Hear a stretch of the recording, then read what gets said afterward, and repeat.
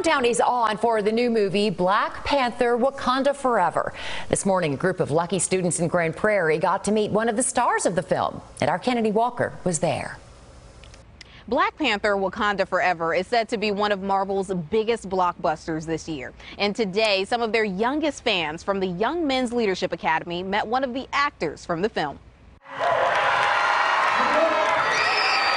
Kids have been waiting for this moment. It's like once in a lifetime opportunity. It was just uh, really motivational. Students at Young Men's Leadership Academy in Grand Prairie got to meet one of the actors from their favorite movie, Black Panther. The sequel officially hits theaters on Friday. It was really uh, heart pumping to see somebody from Hollywood and a TV star come to our school.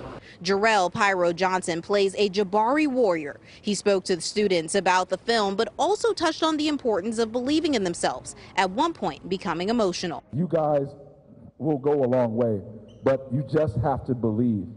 Because whatever you believe is, and it sounds like a cliche, but if you believe it, you can really achieve it. It's very true. And I stand by that in everything I do.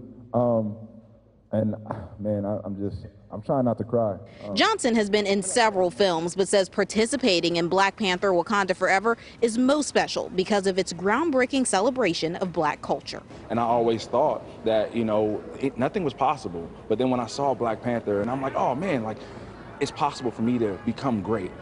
Johnson also touched on what it was like filming this movie without Chadwick Boseman. He said that it was very sad, but every day they just pushed through because that's what Boseman would have wanted. Back to you.